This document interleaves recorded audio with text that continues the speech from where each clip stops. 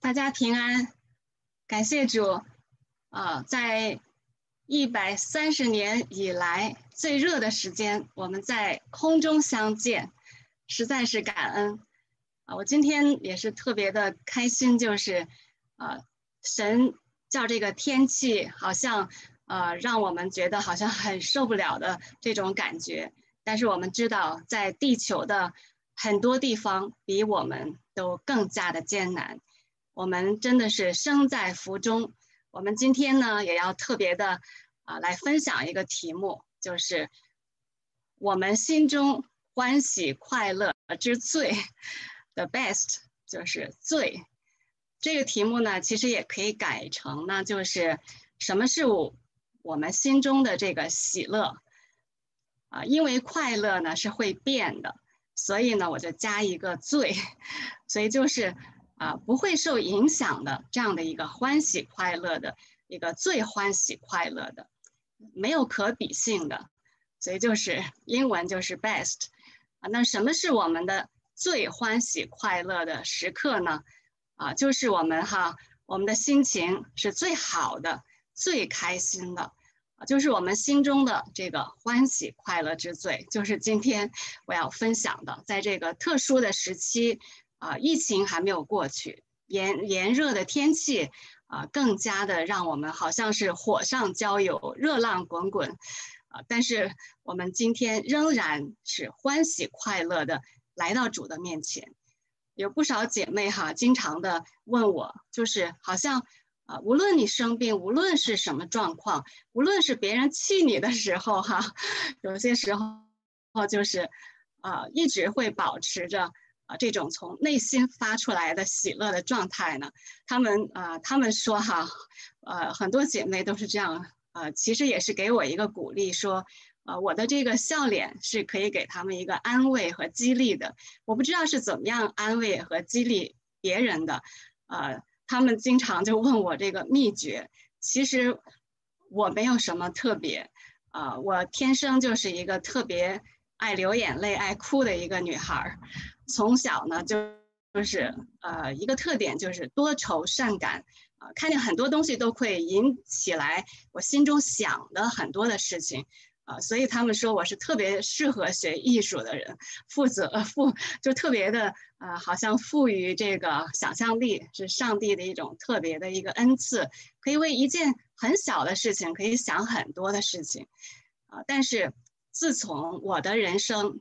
遇见了耶稣那一天开始，啊，我就好像没有再可以值得多愁善感的，啊，经常的一祷告，然后就欢喜快乐、欢天喜地的感觉就回到我的心中，啊，总是有一种好像使不完的力气，心里面总是常常的涌现出来的那种说不出来的，也没有任何理由的，啊，也不是任何环境可以让我欢喜快乐的。啊呃，即使在生病，即使在炎热，啊，即使在呃疫情，无论什么时间啊，其实都是可以能够欢喜快乐的说笑的。啊，我也记得在神学院最悲惨的那个日子，就是我流产呀，我躺在啊神学院地板上面流产的那个惨状哈，呃，差不多有四十五天躺在地上地板上面一动都不能够动，一边是。我的腰扭了，腰伤啊，不能够动。一方面呢是保胎，所以那个是我呃这个毕业在这个神学院里面非常难忘的啊那个地板上的保胎的那种场景。但是这就是在那种情况里面哈，我们同学从我们窗前走过的时候说，经常说，啊好像你们在庆贺什么，好像总是欢声笑语，啊即使在这个。呃，得癌症的期呃，这个这个期间哈，啊，要去第一次手术的那天晚上，啊，也是好像很高兴的在说笑的，什么好像很开心的一些事情。然后因为有一个电话，就是有一个弟兄说他没有排上队，说在手术前请吃饭，然后就问我怎么办。我说很简单呀，我就特别的高兴。我说有这么多人请吃饭，太开心了啊！但是。呃，手术如果我还活着回来哈，继续排队吃饭，免得呃这个我这个不擅长做饭的人总在呃这个纠结吃什么喝什么啊，那我可以专心的跟更多的人来谈话啊，来交流。如果我回不来，那你就省钱了嘛啊，以后添加就不用吃了，也许吃的更好。所以就是前一天晚上有姐妹听见我在这电话里面笑呀，她就觉得呃好像我这个人没心没肺。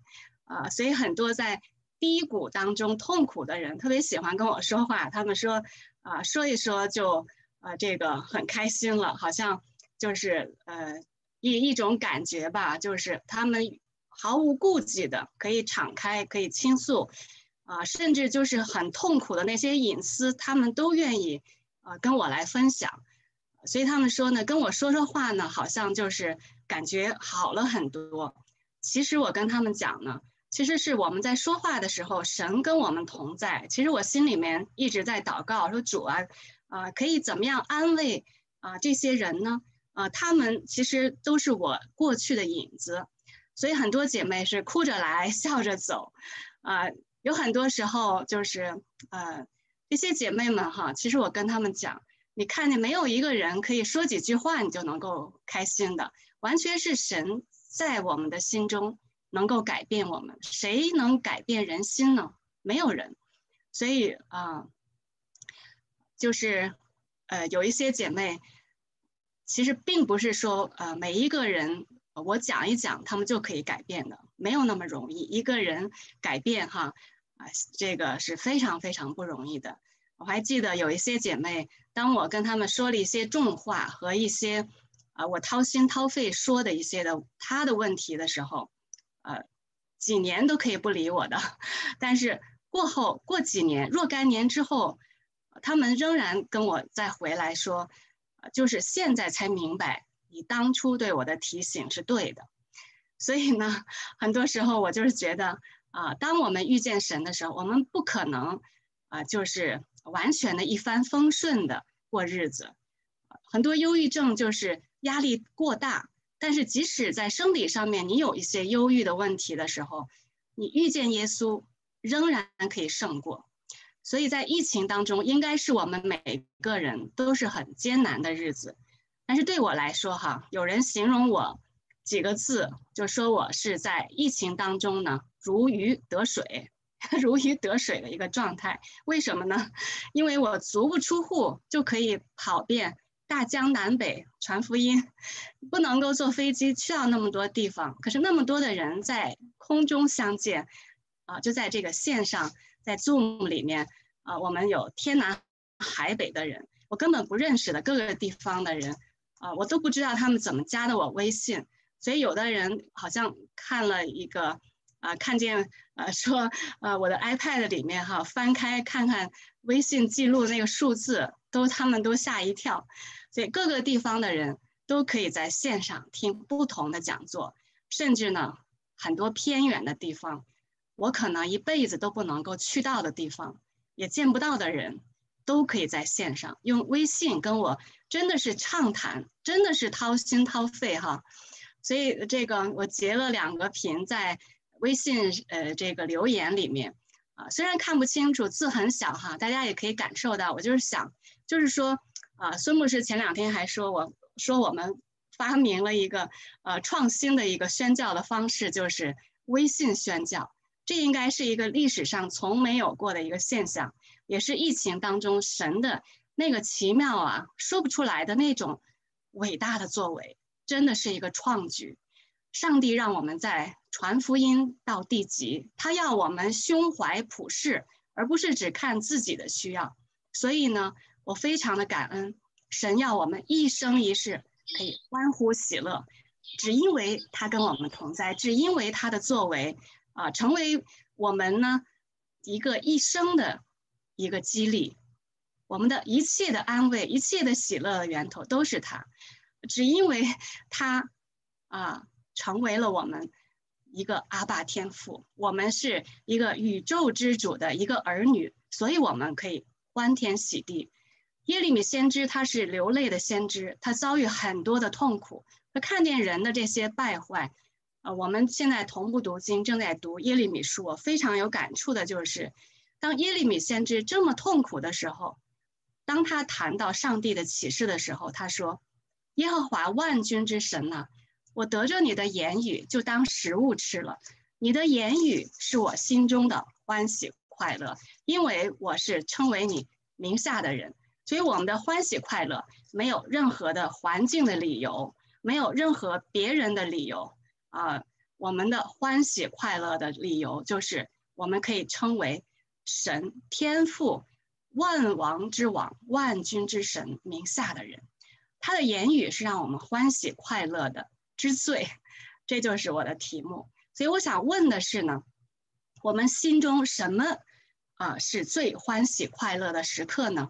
我们可以问问自己，今天呢，在我们的世界当中，有很多不快乐的人，啊，其实我跟牧师一直忙碌，每天可能有的时候没吃没喝都在忙碌着，啊，干什么呢？就是有太多的不快乐的人会找我们，啊，那我们呢也是希望他们从不快乐的这种忧郁的状态里面呢，啊，被拯救出来。但我们不是拯救者，我们是把他们带到。这个喜乐的源头，那我们就要想一想，我们什么是我们的快乐？这个快乐呢，其实是快快一乐，它跟喜乐是完全不一样的，是受环境影响的。如果我们的欢喜快乐之最是受环境影响的，我想对我们来说没有什么可开心的事情。但是当万事如意的时候，你可以欢喜快乐，那不值得庆贺。但人生不如意呢，是十之八九。好花不常开，美景不常在，环境随时变，人心也随时变。所以我们的心情啊，我们的情绪随时变的。所以快乐呢，就是受这个环境的影响。可是喜乐，喜乐的情绪是完全不一样的。我们心中的那个喜乐呢，即使在没有好花、没有美、没有美景哈，甚至在。黑暗当中仍然可以心中欢喜快乐，啊，心境呢是不受任何环境影响的。我们在嘈杂的环境里面，我们仍然有安息有安静，所以我特别体会，呃，这个呃，我们祷告的时候，神说耶稣要我们关进内室。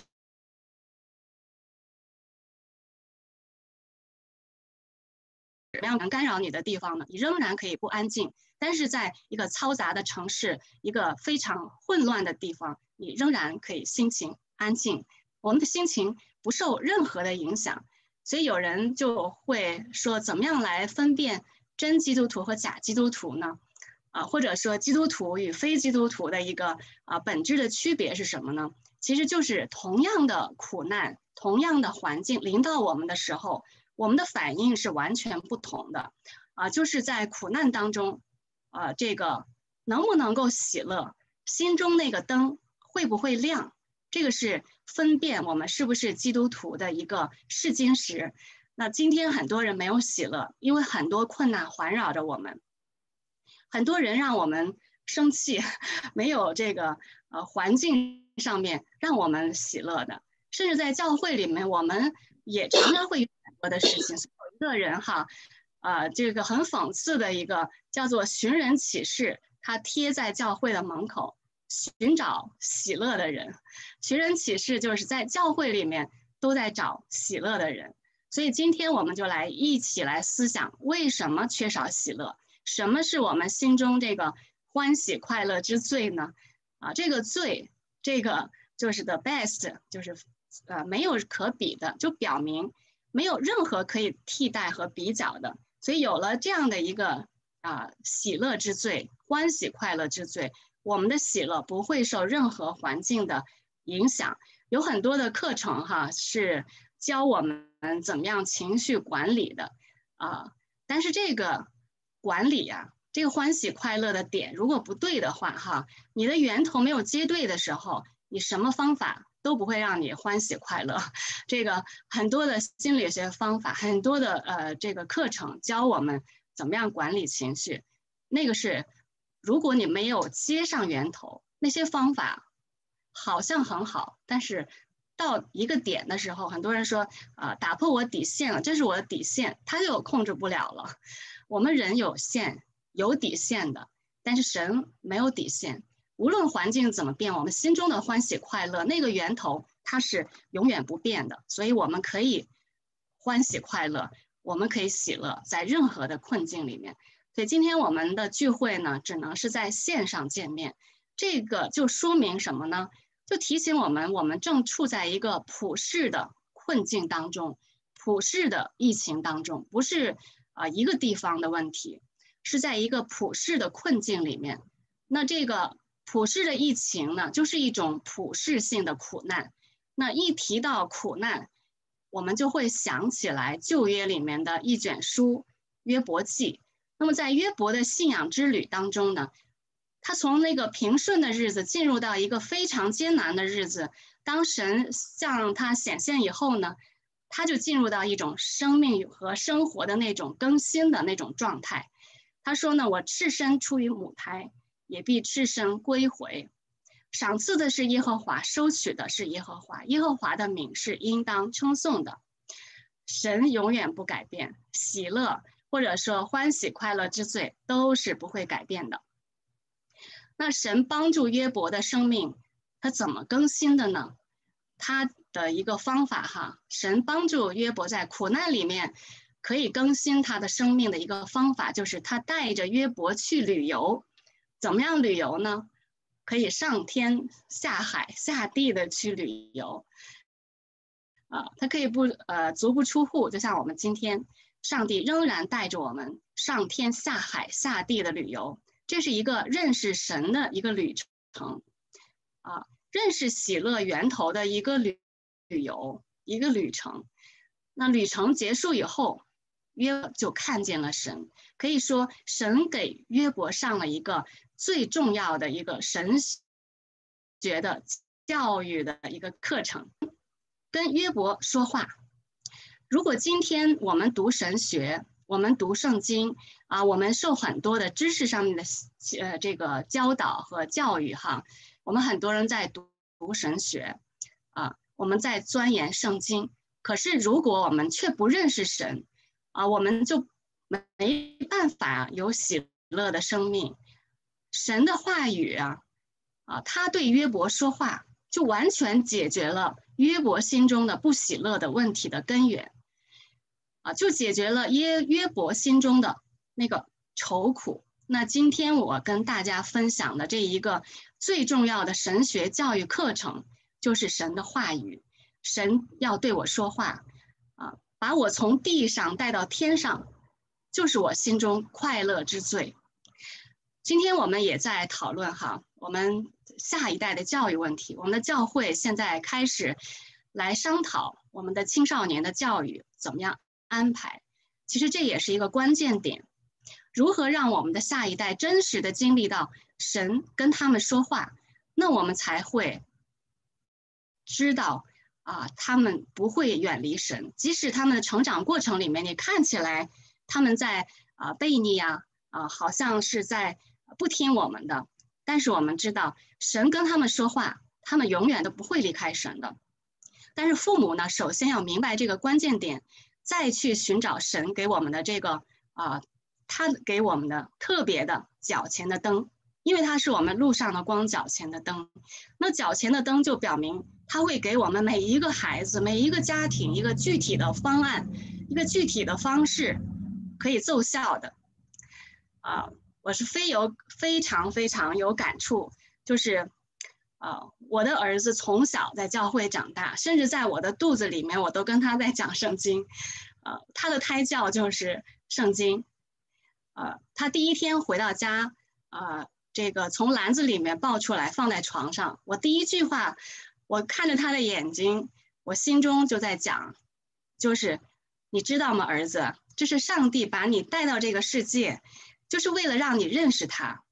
啊，透过我可以呢。啊，让你知道十字架是什么，啊，然后啊，有一天哈，就是他后来现在他是一个青春期的孩子，啊，他会要自己去啊寻找，有时候他跟呃我们家的牧师爸爸会讨论到很晚，啊，甚至有一天都到了凌晨啊，很很很长时间问很多问题，在辩论。那以前他很简单，他说我妈妈说的，呃，是真的就是真的，我妈妈说的对的就是对的，所以很简单。但是他会成长的，啊，所以我很焦虑。他就是说，在青春期的时候，我担心他远离神。但是有一天就让我释放了，让我特别开心。是什么例子呢？我可以简单的跟大家分享。有一天他特别兴奋，啊，他为什么兴奋呢？因为之前呢。啊，他跟爸爸这个约定了，每天要读几章的圣经，从创世纪开始，他们已经读了出埃及了。然后呢，就是约定了这样的一个时间。可是呢，他有时候跟同学在玩的时候呢，他停不下来，所以他就说等一等，等一等，过一会儿，过一个小时，过一天，明天吧，就这样推。那后来我们就想呢，不要逼他，不要这个。啊，给他一种压力，好像就让他觉得，好像 很无奈。就是我们不希望他心里面不改变，勉强的来听我们。但是有一天他特别兴奋，他说：“我妈妈，妈妈，就就是我以为出现什么事儿了，吓我，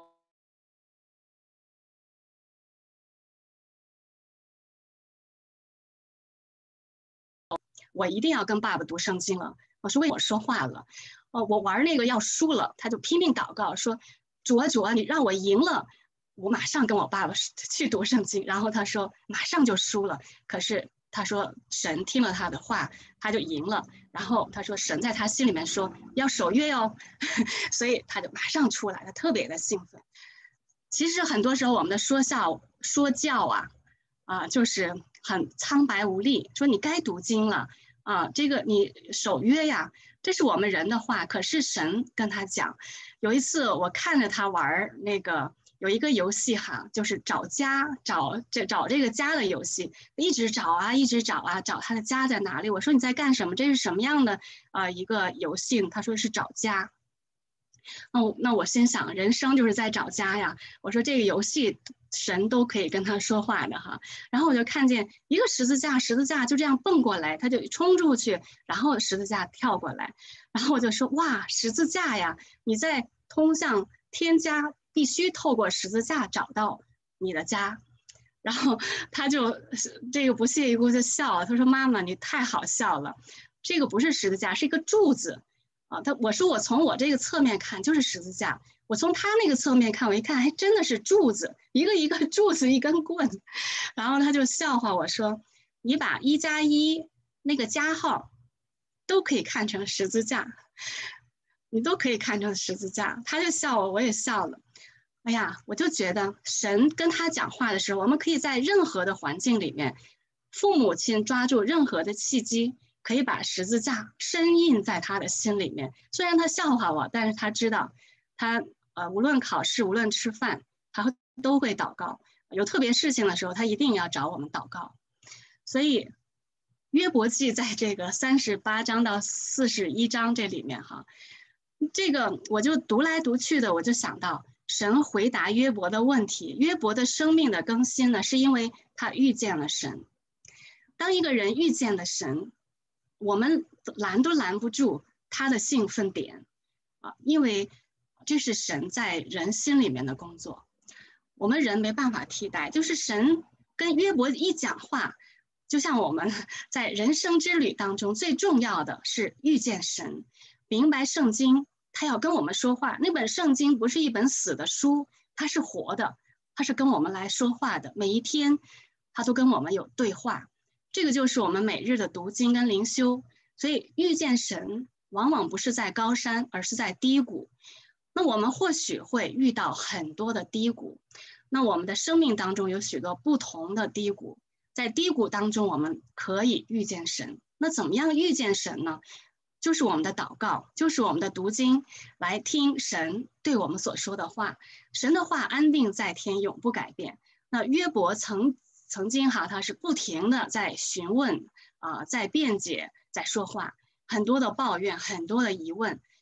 但是当他看到神的伟大之后，他只能用手捂口，不要再说了，不再抱怨了，啊，也不再质疑了。神对约伯使用了很多的问句。他说：“我立大地根基的时候，你在哪里呢？是谁定的地的尺度呢？地的根基安置在何处呢？地的角地的角石，啊，就是那个房角石啊，是谁安放的呢？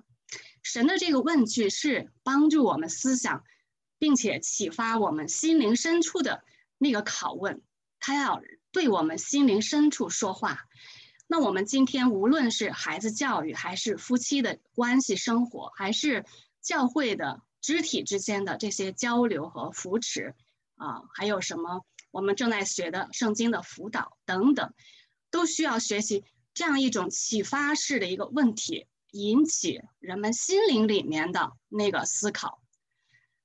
如果不能够触及到人心灵的需要，我们没办法彻底的改变生命。昨天我们小组还在讨论哈，就是，呃，人为什么那么难改变呢？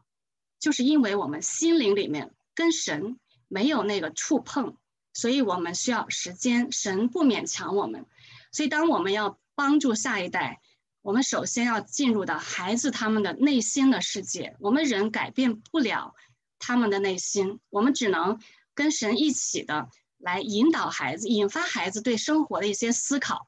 啊，就像刚刚这个，我儿子玩游戏，其实也可以思考他在找家，找什么样的家。所以一个妈妈领着孩子哈，去看动物啊，我就觉得很有感触。就是他去看一个大象，这妈妈就很奇怪，这孩子怎么没有一点反应呢？所以他就蹲下来问孩子说：“你怎么不开心呢？”当妈妈蹲下来的时候，就看见。这个大象就是四条腿，就是那个直棍儿一样的。他突然明白，孩子没有兴奋点，孩子看不到大人所看的。那我们其实人的喜乐是需要人内心真实的遇见神的。但是当另外一个人他没有像我们一样真实的遇见神的时候，我们是要帮助他们一点一点的一个成长的过程。啊，我记得在母亲节的时候我讲到的，就是一个种子，一个种子它是有过程的，所以我们看见神的伟大、神的作为的时候，这个人他就必定会改变，是神改变我们，所以是需要每个人自己来经历的，不是一个方法，不是一个说教，也不是很多很多我们人所想出来的一些的方案哈，啊，这个很多时候我们要改变人的生命。只有我们与神同工，在约伯记里面，三十八章四到七节啊，这个里面哈，其实就是给我们看见了，其实就是啊，这个这里面就给我们看见呢，神指出的是什么呢？整个世界是神所设立的，神所建立的，他立了大地的根基，世界呢就如同神的一个圣殿。如果灵命的塑造，我们生命的成熟的这个过程呢？啊一定要是与神相遇，那么建立这个神的话、神的呃这个圣经的话语、这个真理的根基，就是我们啊与神相识的一个开始。那神的话语，它要帮助我们认识和他的这些启示哈，让我们能够知道怎么样来回应神。当一个人爱神的时候，他就会爱人，所以爱人呢是一个爱神的一个流露。所以心中的那个欢喜快乐呢，就是来自神的话语的那个根基和生命跟神相交的啊，神跟我们啊这种互动与神相识的，这样其实是我们一生的旅游，一生的旅程。所以有一首歌呢，我刚信主的时候特别喜欢这样一首歌，就是啊现在也有时候会唱的，有神同在就是天堂。它是这个歌词哈有很长。那么其中一段呢，就是说，神啊，主释放我，洗净罪污，在地如天，啊，终日欢呼。世上难免忧愁困苦，认识耶稣，天堂正路。哈利路亚，真是天堂。啊，罪蒙赦免，真是天堂。无论岸上，无论海洋，耶稣同在就是天堂。这样的一首歌哈。这个旋律非常的美，所以一个人从不喜乐到喜乐，那个就是天堂。你有神的同在，你天天无论环境是怎么样，你就活在天堂里面。所以一个人的喜乐呢，他是从主权的转移开始的，就是从自己、从自我来转向神，啊，也是一个人的视角的一个转移，从人的视角来看问题。那这个啊，这个，当你用人的视角来转向神的视角的时候呢，就是一个自我翻转和颠覆的一个过程。那约伯受苦的时候，一直要问神呢，你为什么这样对我？哈，那他的问题一直围绕着什么呢？为什么你为什么这样对我？但是神的回答是什么呢？啊，你这个我是谁？你是谁？让他认识，就是我立大地根基的时候，你在哪里呀？让我们认识神的这个伟大，所以你是谁，我是谁，所以这个神跟我们的问题是不同的，所以一个人从喜乐啊，这个从不喜乐到喜乐这样的一个改变，就是一个视角的一个改变。所以这个我们的问题呢，我们常常问为什么，但是神要让我们认识他，他是谁，我是谁，神要颠覆我们的自我中心。我们的心中那个欢喜快乐的之最是什么呢？就是遇见了神的那个时刻，我们不再活在自我的那个小圈子里面，不再是井底之蛙，经历神的话语就是经历神，所以不单单是超自然的一些神迹才是经历神啊。很多灵恩派教会他们所说的经历神，就是好像神迹一个超然的，其实那不是的。啊，真正的经历神呢，是什么都没有发生。像哈巴古书里面说的，这个无花果树都不发旺，什么都没有的时候，他仍然以神为乐，那个是最大的神迹。这个就是经历神的话语的一个真实。所以不是神要我们凡事都顺利了，我有病医治我，那个叫经历神，不是的，是我们在病中仍然的在黑暗当中，那盏灯是亮的，那个才是最深的。来经历神，真正的经历神话语的那个叫经历神，所以神邀请我们呢进入他奇妙的一个世界，与他相遇，跟他交流。他是活的，神的话是活的，他跟我们说话。否则那本圣经就是一本死的书啊，跟其他的书可能你看看就过去了，没有任何心灵里面的碰撞和相遇。所以呢，当我们与神相遇、相交的时候，环境没有变，我们不再看环境，然后就开始了我们心灵里面那个欢喜快乐的之旅。那我们的生活呢，就是在这样的一种享受神的旅程当中，不断的经历神的话语，这样的一个更新。我记得有一次哈，我特别的难受，就是别人对对我质疑的时候呢，我就到十字架面前啊，不是我家里有一个外在的十字架，是我心中。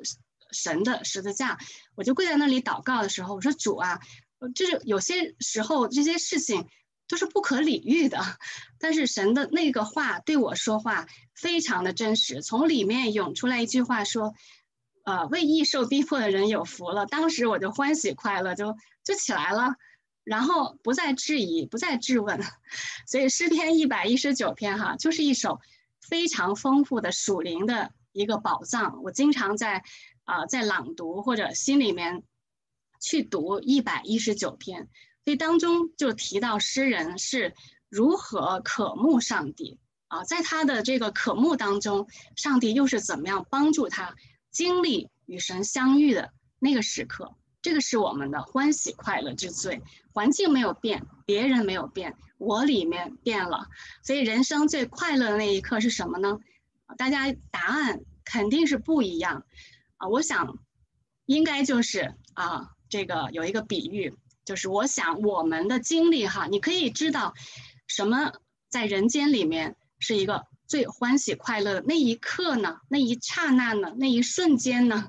我想应该就是你与你所爱的那个人所渴望、所渴慕的是一样的，就像少男少女谈恋爱的经历，我相信在线上有这样的。啊，正在经历少男少女他们恋爱的经历。如果一个男孩子鼓起勇气向女孩子表白说：“我有一个渴望，希望能得到你，啊，能与你结婚，很希望你成为我的妻子。”那女孩子呢回应说：“我心里的渴慕呢，渴望呢是跟你一模一样的，相信这是他们一生当中最欢喜快乐那一刻啊，所以因为他们所渴慕的是一样的。还有呢，就像父母亲，父母亲对儿女的一种渴慕是说，现在你们终于长大了啊，你们可以自立了。我们特别希望这个孩子呢，能够爱主爱人啊，爱传福音啊，成为啊一个啊被神使用的人，无论他做什么。那孩子回答说：“啊，爸爸妈妈，你们放心，不用担心，因为你们的愿望，我们心里面早已经这样决定了。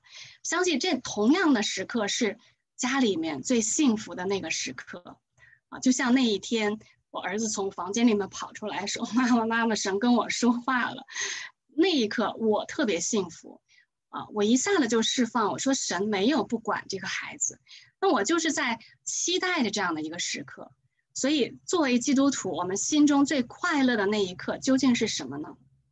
是我们的孩子考上名校吗？考上藤校吗？还是啊，他们有很多啊这个世界的成功吗？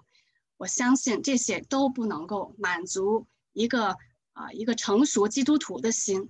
我相信就是我们听到神说，他愿意与我们同在，也是渴望我们跟他同在。我们与神心连心。我们有一个姐妹的微信号是心连心。每一次我看见这个姐妹的心连心的这个号的时候，我就想到跟神真的是要心连心。所以啊，我们需要。深深的来经历神的爱，经历到他跟我同在，这个滋味没有人能够替代的，也不是我用啊美好的语言能够形容的，只有你自己去体会。所以这是这个是不是我们人生最渴望的呢？所以在这个诗篇一百一十九篇，它是一篇的很长的祷告文。那我们今天因为时间关系，牧师就读了一到十八啊，这个很短。但是大家可以回去读，这是一篇很很好的一个见证，描述诗人对神的那种赞美跟感恩。全篇当中呢，都是你的、你的、我不断的出现，就是那种很亲密的关系。你我，啊，诗篇二十三篇我也曾经讲过，啊，就是呃，他是我的牧者，我必不致缺乏。啊，他他他，到啊，当我行过死荫的幽谷的时候。我也不怕遭害，因为你与我同在，你我这个是一个关系的一个啊见证。所以一百一十九篇这里面就是我你不断的出现，这是诗人对神的话语的那种奇妙的那种宝贵，他献上的那个感恩。所以这个诗篇一百一十九篇是跟这个人与神的关系的那个见证。啊，这是一首希伯来字母所写的一首字母诗。希伯来文有二十二个字母，诗篇一百一十九篇，一共有二十二段，每一段有八节，一共是一百七十六节。那二十二段每一段都是以希伯来文的二十二个字母做起首的，是按照字母的次序所编排的，所以同一段哈就是共八节的这个啊第一个字母。都是一样的，所以犹太人的孩子呢，他们从小就背诵一百一十九篇，一方面可以学文学，一方面可以来学习上帝的话语和享受跟上帝的那个关系。所以诗篇一百一十九篇是一个属灵的一个宝藏。那神的话语非常的宝贵，充满了力量。所以诗篇就告诉我们呢，诗篇啊很多啊。呃诗篇第一集呃第一篇十九篇一百一十九篇哈，都在不断的重复着说，唯喜爱耶和华的话语，又愿意思想和遵行，这人变为有福。神的话语是有权柄的，它不是一个建议，也不是让大家讨论的一个题目，也不是一个灵修小品让大家欣赏一下，而是他要人遵从的一个不容置疑的命令。因为它是我们一生快乐之最，啊，欢喜、快乐、喜乐的源头。所以借着圣经的话语，就使我们在危难当中，然后得到坚定，然后我们的信心可以扎根在他的啊话语的根基里面，就是磐石里面。所以我们可以活出那个心中的欢喜、快乐的那一个生命。所以诗篇一百一十九篇呢，至少有八个相同的词语来描述神的话。那一百七十六节这个当中，每一节都有一个关键字出现，就是什么呢？律法、法度，我都画出来了哈，这个颜色不一样。律法、法度、训词、律例、命令、判语、话语、应许，所以这八个词是一百一十九篇里面哈常出现的这个字。所以透过你读诗篇的时候，我们的心里就被激励啊，不单是认识神的话，也愿意呢啊，靠着神的这个生命在我们里面，活水的江河呢，可以活出神的话来。如果活不出神的话来，那个神的话对我们就没有果效。你读了好多年，为什么生命没有改变呢？因为神的话没有从你的里面活出那个生命来，所以我们要从这儿开始啊。当我们愿意活出神的话的时候，你一定愿意传扬神的话，你就会跟弟兄姐妹随时都可以交流的时候，就是神的话语啊，就像呃耶利比说，吃进去，然后我们跟别人分享，我们自己消化了当食物一样。把神的话能够活出来，能够传扬出去，我想啊，这个就是世界上一个啊最欢喜快乐的人。今天很多人在找什么是幸福呢？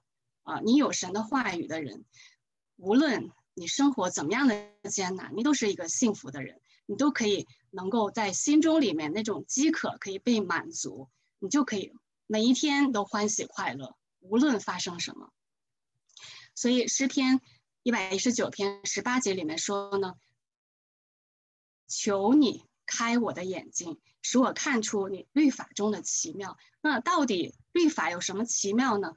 从古代的这犹太人来说，哈啊，神的话就是神的声音啊。当律法师，当呃他们将神的这个诗篇读出的时候呢，他们就会留心的听。因为神啊借着这个人向我们说话，所以神的话能够啊这个建立一个人的生命。神的话语啊，它能够创造、建立、建造，它也可以毁灭，啊也可以咒诅，也可以审判。所以神的话能够改变人的生命。神的话语要进入到人的心里面，啊与人对话，透过对话，我们才可以改变人心。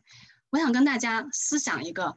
知识读经和生命读经的两个分别，啊，这个知识读经呢，我们就是自己读，以自己为中心，用学问、用知识啊，更多的明白神的知识，啊，这是自我中心的一种行为，啊，因此呢，我们啊或多或少的读，或慢或快的读呢，都是我自己的事情，啊，都是以围绕着我，但是生命读经不一样。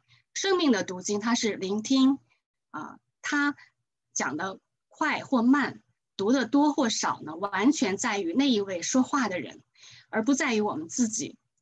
啊，这个知识读经呢，它是就是读的时候你会走神儿的，你不会专心的，你也不会听到神跟你讲话，所以你好像在读，人在心不在。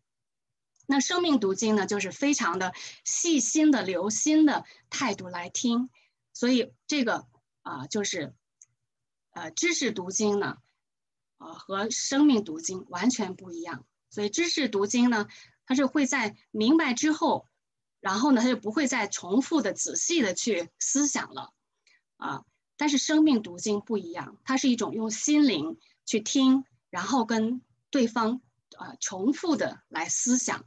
就是啊，使对方讲同样的话的时候，他还会继续的来重复啊。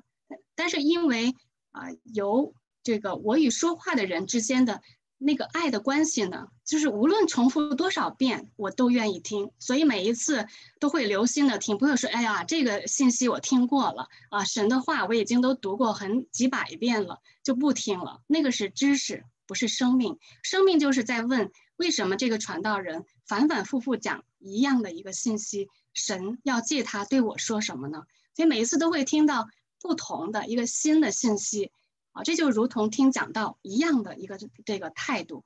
如果你是带着一个评判的啊来听这个讲道人好和不好，其实呢，你听不出来神要对你说的话。但是一个生命读经、生命听到呢？你就会思想神借着这个人反复的一个信息要对我说什么。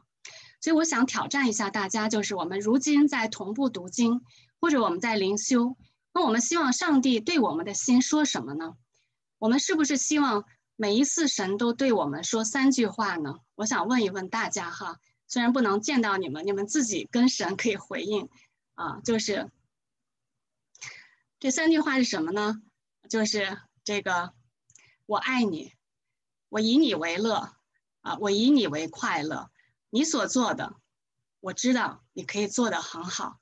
这三句说话哈，这三句这样这样的话语，呃，表达呢，他是天父对主耶稣他的独生的宝贝的儿子所说的话。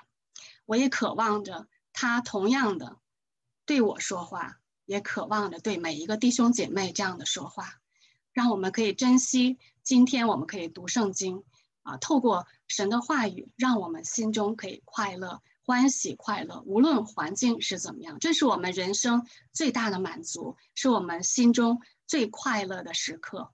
所以诗篇一百一十九篇啊，这个一啊，一共是一百七十六节。因为今天时间的关系呢，我们只读了一点点。这里面有八个诗人的见证啊，我们可以从这个 PPT 上面可以看到，这个八个见证是什么呢？就是我极其的爱慕神的话。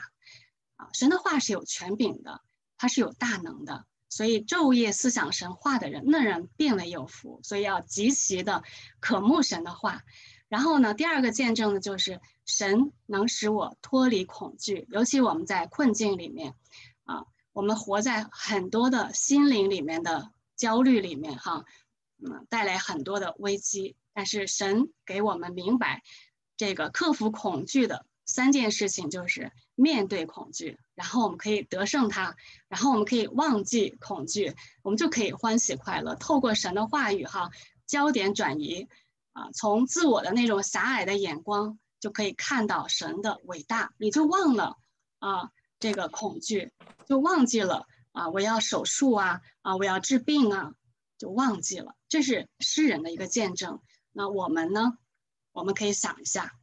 还有呢，第三个见证就是神，他要引导我们的人生，他要引导，而不是我要走我自己的路啊！我要计划我们教会的事情，是他要引导我们教会的安排。所以神的话语要让我们明白他的心意，神的话他才能照亮我们这个脚前的灯哈，他是路上的光，他让我们人生黑暗的时候有一盏灯永远都不灭的。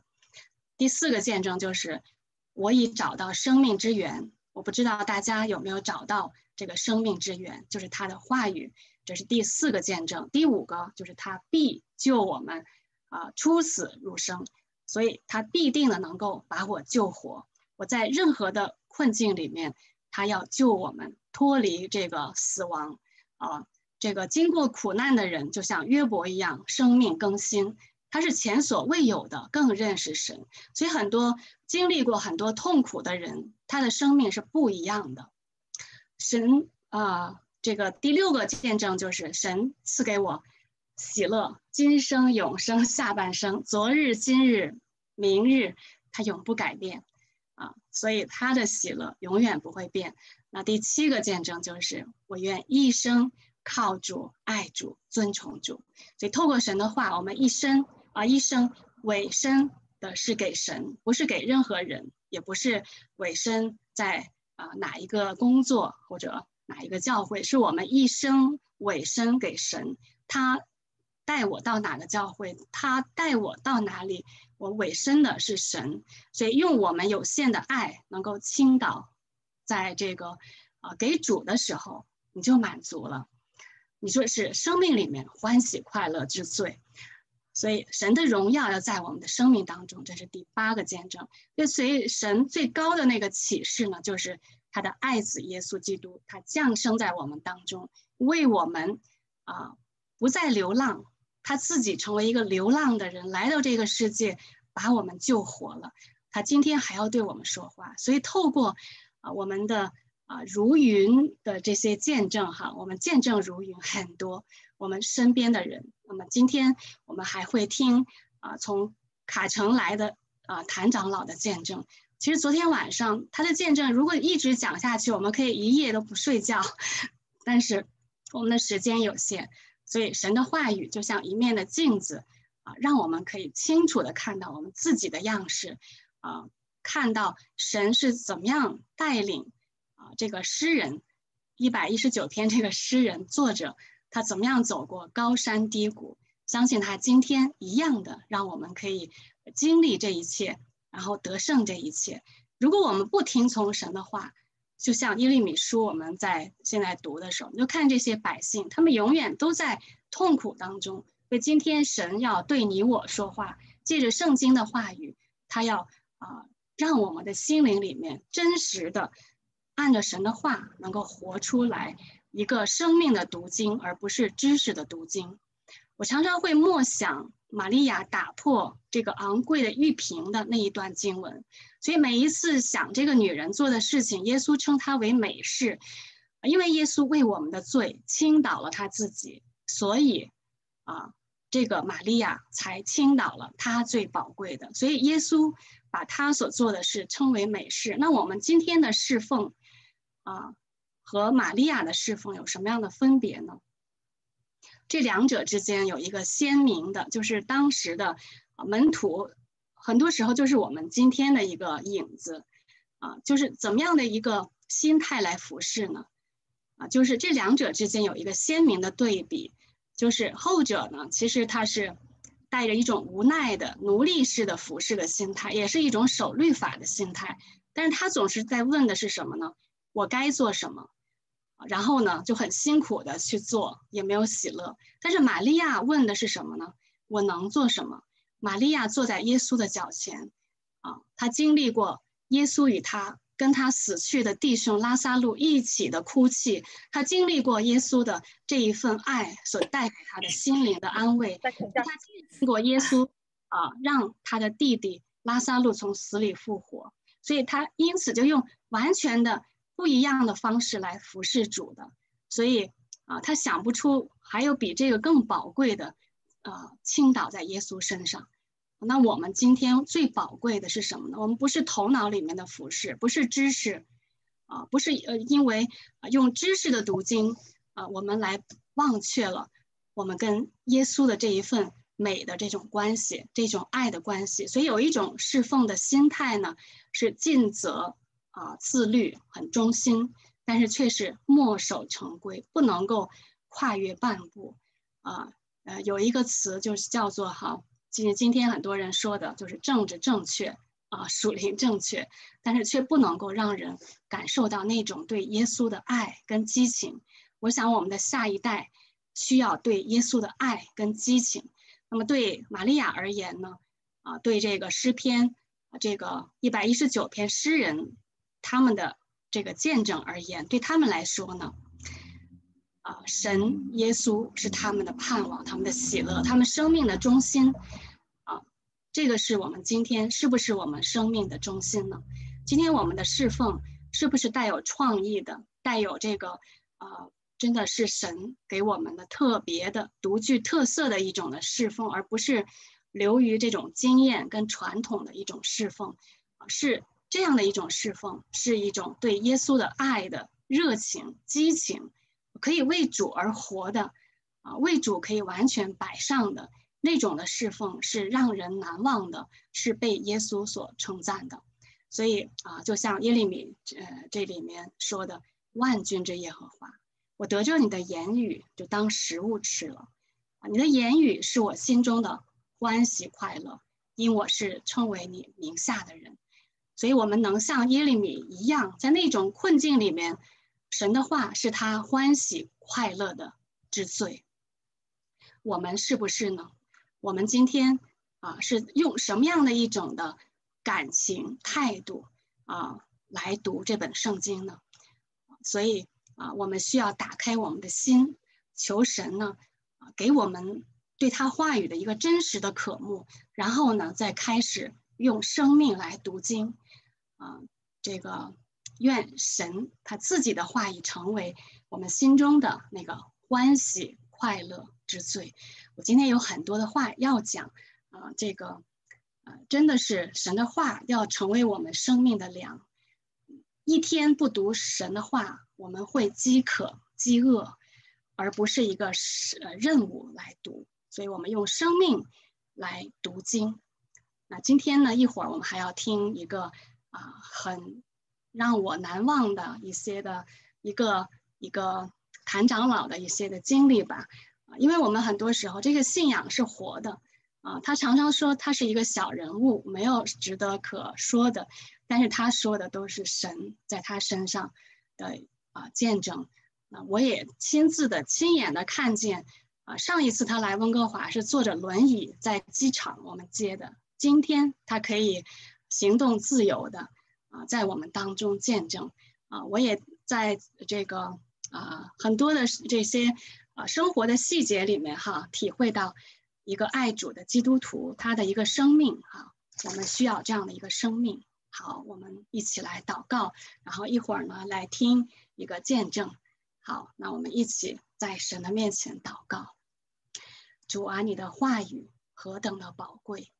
你的话语就是将你自己向我们显明，明白你的心意是爱我们、拯救我们，是将神原本创造我们的时候。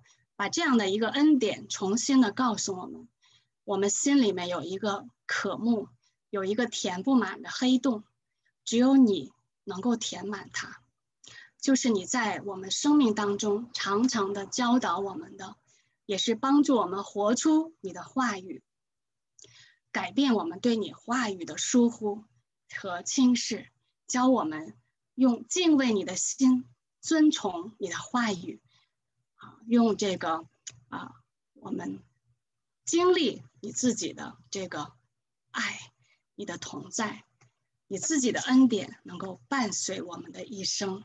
愿主你成为我们心中那个欢喜快乐之最啊！我们我们的教会需要你的话，我们每一个弟兄姐妹需要你自己啊，在对我们的心说话。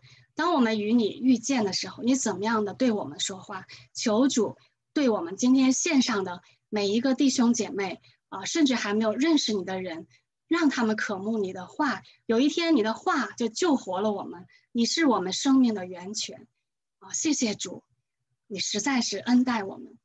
谢谢，我们没有办法来用感恩的话语来向你感恩，我们只有用。我们能为你做的一点点的事情来回应，求主来悦纳我们的心，让我们的心里面有一个清新、清新的人就有福了。求主让我们的心里面像海绵一样有一个温柔的心，领受你所栽种在我们心里面的道，你的话语。谢谢主，听我们祷告，奉主耶稣的名，阿门。